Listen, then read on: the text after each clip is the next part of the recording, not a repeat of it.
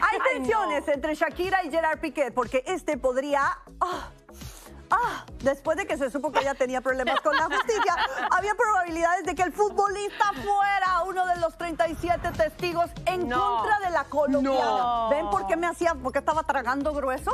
Bueno, pues resulta que Shakira, quien enfrenta 8 años de cárcel y una multa de 24 millones de euros, ahí nomás, por acusaciones de fraude fiscal, de ser llamada al estrado con su testimonio, Piqué podría ayudar a Shakira a salir victoriosa, que es lo que todos pensamos que va a hacer. Claro. O Claro. con sus declaraciones podría hundirla. Y una de las razones por la cual lo citaron es porque el futbolista tiene una empresa en conjunto con la mamá de sus hijos y no se sabe si declararía virtualmente o si sería citado en persona ahí en el estadio. ¿Se imaginan el escándalo? Pero yo creo que Wow. 100%. Shakira aquí, Piqué aquí. Yo no creo que eso vaya a suceder, ni creo, espero, que él vaya No, él la va a ayudar. Es la mamá de Eh, sus yo hijos. creo que él la va a ayudar. Además, estuvieron enamorados Claro. porque él no, él no parece ese tipo de Es- persona. es el papá de Yo los quiero. niños. el Pero luego la gente te sorprende. Ay, Dios mío, Ay, Dios yo mío. quiero esperar Yo que él sea que no buena y, gente. y no creo, pero hay que estar muy pendientes de este caso y yo sé que Vero, tú estás al Eso lo cañón. pusimos en las redes y una señora puso, uno sabe con quién se casa, pero no de quién se divorcia. Mucha gente lo pone, esperamos que así no le suceda